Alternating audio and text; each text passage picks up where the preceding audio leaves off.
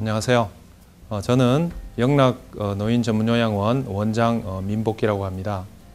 어, 저희 영락 노인 전문요양원은 영락교회 65주년 어, 기념사업의 일환으로 경기도 하남시 풍산동 256-12번지 내에 건축이 되었습니다.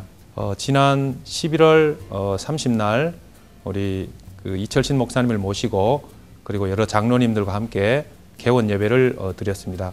영광의 얼굴빛, 하나님의 광채나는 얼굴빛이 이 전체 안에 가득 차게 되기를 바랍니다.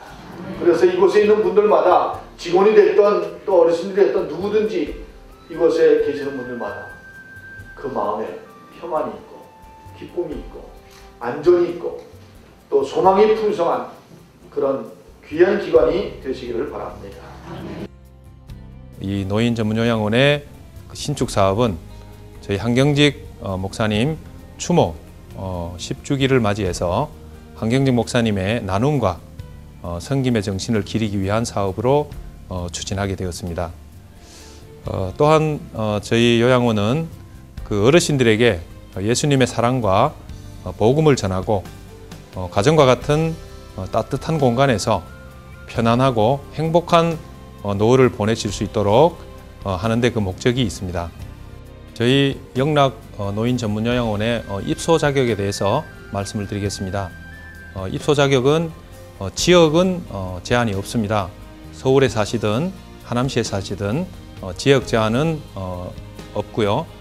어, 현재 정부에서 운영하고 있는 노인 장교양보험법에 의해서 장교양 등급을 1등급 내지 2등급을 어, 받으시면 입소를 하실 수가 있습니다. 어, 현재 정원이 57명으로서 어, 지난 11월 30일 어, 1차 개원 시에 25명이 어, 개원을 했습니다. 그리고 2차 2011년도 2월 달 내지 3월 달에 어, 약 30여 명을 어, 개원할 준비를 가지고 있습니다. 지역 사회에서 혹은 어, 전국에서 제일 가는 어, 노인 전문 요양원으로 거듭날 수 있도록 열심히 노력하도록 하겠습니다. 성도님 여러분들의 어, 계속적인 기도와 관심과 그리고 협조를 부탁드리겠습니다. 감사합니다.